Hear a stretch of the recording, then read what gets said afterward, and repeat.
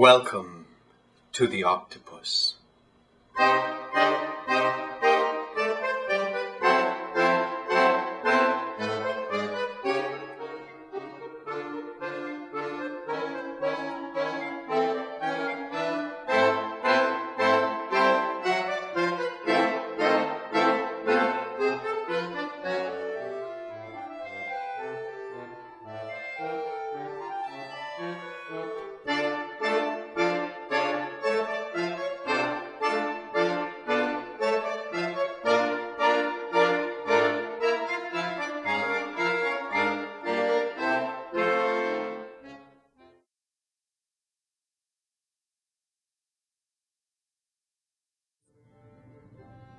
Get up from my feather bed in the morning, and when I'm washing, such desires come over me, and they are wicked desires, that even Mr. Beckett and Mr. Smiles seem handsome to me. If it goes on much longer when I lie in my innocent pink distempered room, with the sheets drawn right up under my chin, and imagine such scenes, I dare not even imagine my dreams I fear that my fleshly desires will drag me down to the gutter where, as I've been told, so many wretches end. What can I do to keep up that appearance of pure affection which he will expect from me? How many desires he may have had, desires which will quell any base desires he may have had, desires which can never, never be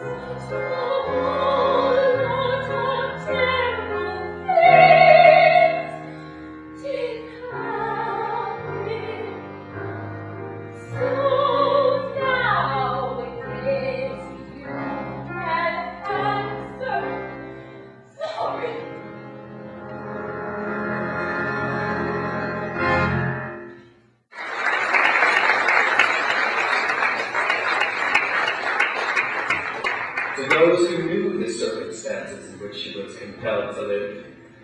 Whoever is familiar with this existence, the existence of the needy, hardworking, must admit that to anyone who is driven to such a life, there will come a time when he or she will say, Enough. Hmm. Surrounded with debts, faced with the complete hopelessness of the situation, this existence, like that of many others, offered her no particular inducement to stay. You only have to look at the dwelling place of this woman. I purposely avoid using the word house. You yourself would not dare to call the place a house. Think of living all your life in such surroundings, and don't imagine that she ever had a holiday. And even in that hovel, she was pursued